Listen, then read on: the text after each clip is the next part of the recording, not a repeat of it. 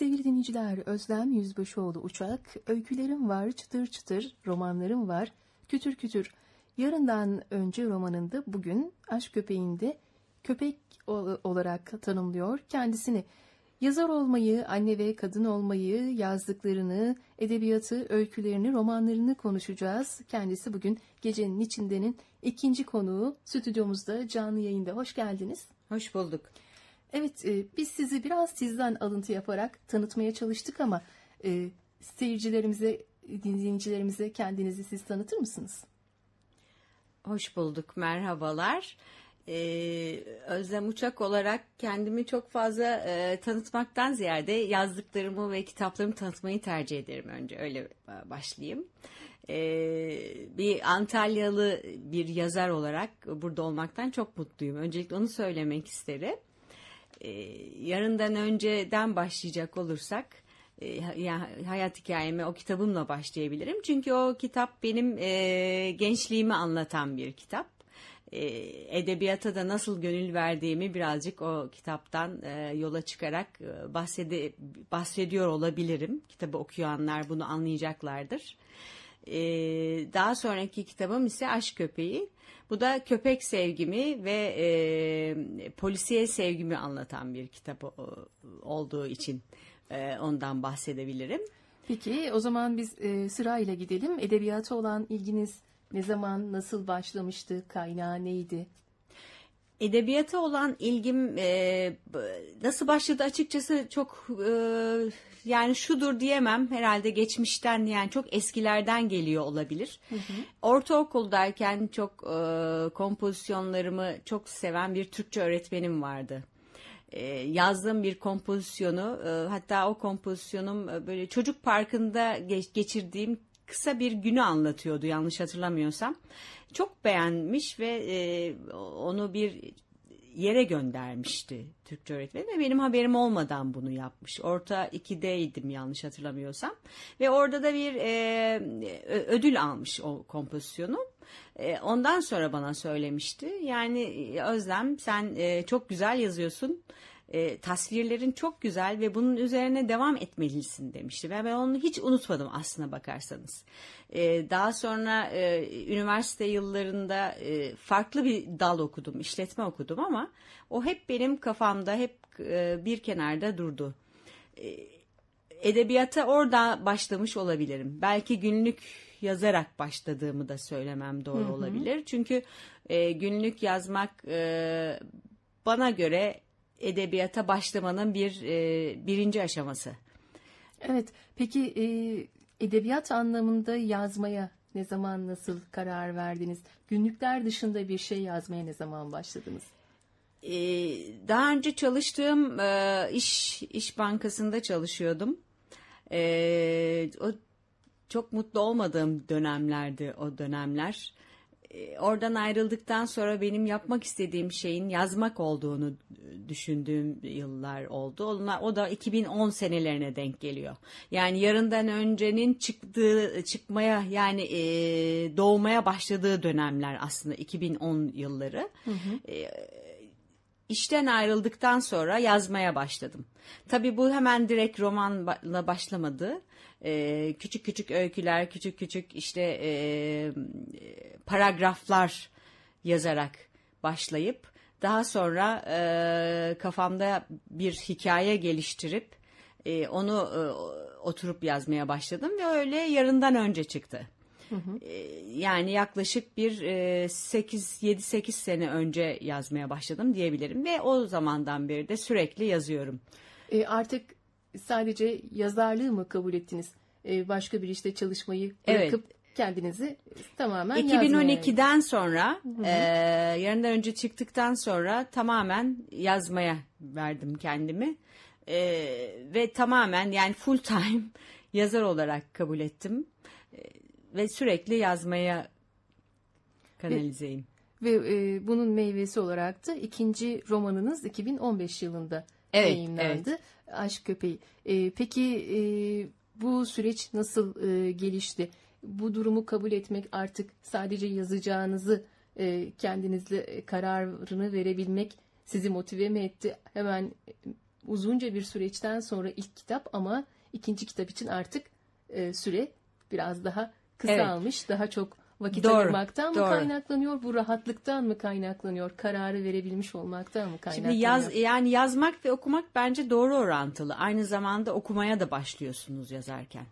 Ee, ya da okuyorsanız da daha çok okumaya başlıyorsunuz. Daha çok e, e, yazarı merak ediyorsunuz ve okudukça da açılıyorsunuz. Ee, ben e, ya- yazmayı biraz da tabii nefes almak gibi de düşünüyorum. Ee, Her e, edebiyat meraklısı, işte yazma tutkunu insanın böyle düşündüğüne de çok eminim. Ee, Nefes alabilmek için insan e, düşündüklerini ya da gördüklerini yazmak is- istiyor. Yani bir, şey yaşıyorsam ya da bir şey hissediyorsam onu hemen yazıya dökmek e, beni rahatlatan bir şey. Dolayısıyla e, 2012-2015 yılları arası hani 3 yıl dediğiniz doğru. Hani ilk kitaptan sonra çok kısa süre içerisinde e, hemen ikinciyi geçebiliyor olmamın sebebi e, o motivasyonu yakalayabilmiş olmam. Ve ondan sonra da devam etti tabii. Şimdi de öykülerle devam ediyorum buna. Evet. Peki şunu soralım. Ee, oğluma merhaba dediğim günden sonra hayat, aşk, edebiyat, öyküler ve her şey gerçek anlamını buldu demişsiniz. Evet, evet. Ee, hayatınızı annelik nasıl e, etkiledi? Yazma zamanınızı nasıl etkiledi? Size yeni ilhamlar mı verdi? Ee, yoksa e, işinizi zorlaştırdı mı? Çünkü çocuk yetiştirmek de çok vakit alan, e, Kesinlikle, çok enerji isteyen bir kesinlikle. Evet, bunu e, bildiğiniz çok belli. E, Yani çok e, e, bir evlat gerçekten insanın e, hayatında e, çok e, duygu yoğunluğunu arttıran bir şey ve bu da e, yazmaya çok etkileyen bir şey.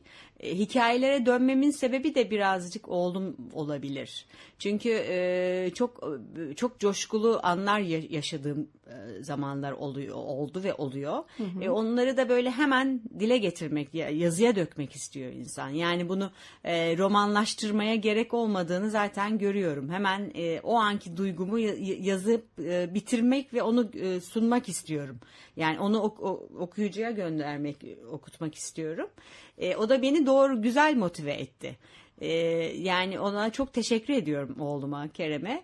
E tabii bir yandan da e, dediğiniz gibi zaman kavramı birazcık tabii e, karışıyor. Hani onunla ilgilenmek var. İşte bir yandan kitabımı e, çıkarmaya çalışıyorum. E, blogumda öykülerimi yazmaya çalışıyorum. E, tabii böyle bir e, plan, zaman planlaması yapmam gerekiyor. E, bu da işte e, sen uyurken diyebilirim. Yani oğlum uyurken yap- yaptığım şeyler iki buçuk üç saat uyuduğu zamanlarda hemen ben bilgisayarın başına oturup e, sıkı bir çalışmaya giriyorum ya da geceleri çalışıyorum. daha sıkı ve daha disiplinli e, Kesinlikle. çalışıyorsunuz. Peki bu söylediklerinizden Aşk Köpeğini bir öykü kitabı izleyecek diyebilir miyiz? E, Kesinlikle, kesinlikle çalışmalar? umuyorum. Onu yapmaya çalışıyorum. Ee, 20'ye yakın öyküyüm var şu anda e, yazıp tamamladığım. E, onlardan e, derleyip yeni bir öykü kitabı çıkmayı çıkartmayı planlıyorum. E, yayın evimle görüşerek tabii onlarla aynı e, aynı yayın evi bence kitap yayınlarıyla devam etmeyi planlıyorum. Eğer bir aksilik çıkmazsa. Ee, 20 öykümün 20'si de yayınlanır mı bilemem ama e, blogumda yayınlıyorum zaman zaman. Bazı dergilerde de e, öykülerim çıkıyor. E, hatta bu e, ay e, birkaç öyküm çıkacak bir birkaç dergide. Bil- bilmiyorum söyleyebilir miyim onları e, yani tanıtımını yapabilir miyim? E, Kafasına göre dergisinin e, Temmuz Ağustos sayısında bir öyküm yayınlanacak. E, bugünden itibaren tüm e, kitapçılarda e, dergi e, sanırım çıktı. E, On buçuk treni diye bir öykü yayınlanacak. E, başka dergilerde de çeşitli e, öykülerim yayınlanıyor. Bu, bunlar da beni çok motive ediyor tabii. Orada oku- okunup sonra bana geri dönüşlerin olması e, daha mutluluk verici ve daha motive edici. Peki şunu soralım size son olarak romanlarınız, öyküleriniz var. E, çocuklar için bir şeyler yazıyor musunuz ya da yazmayı planlıyor musunuz, düşünüyor musunuz? Yani o benim en büyük hayalim tabii yani e, bir e, masal kitabı ya da bir çocuk hikaye kitabı çık- çıkartmak ya da hikayeler ya- yazmak e, çok büyük bir hayal olarak böyle kafamda sürekli var. Ama onun için biraz daha zamana da ihtiyacım var gibi geliyor bana. E, belki öyküden sonra üzerinde çalışılabilir. Masal yazmak kolay bir şey değil. Öyle onu görüyorum. Yani e, nasıl hikaye yazmak e, zorsa masal yazmak daha da zor. Yani ben biraz tersten de gidiyorum aslında. Hani romandan hikaye, hikayeden masala geçiyorum ama e, kolaydan zordan kolaya geçiyor gibi görünsem de aslında zora doğru gidiyorum bence. Yani masal zor bir şey. Onun da henüz vakti var Ben diyorsunuz. kesinlikle benim için var. Peki e, teşekkür ediyoruz. E, kolaylıklar, başarılar diliyoruz. Ben teşekkür ederim. E, umarız zoru da sizce zor olanı da başardığınızda tekrar görüşürüz. E, onun da İnşallah. burada e, dinleyenlerimize tanıtımını yaparız. E, sağlıklı, mutlu günler dileyelim. Tekrar görüşmek üzere. Ben teşekkür ederim. Sevgili dinleyiciler, gecenin içinden de konuğumuz Özlem Uçak'tı. Onunla yazın hayatını, kitaplarını ve önümüzdeki günler için planlarını konuştuk.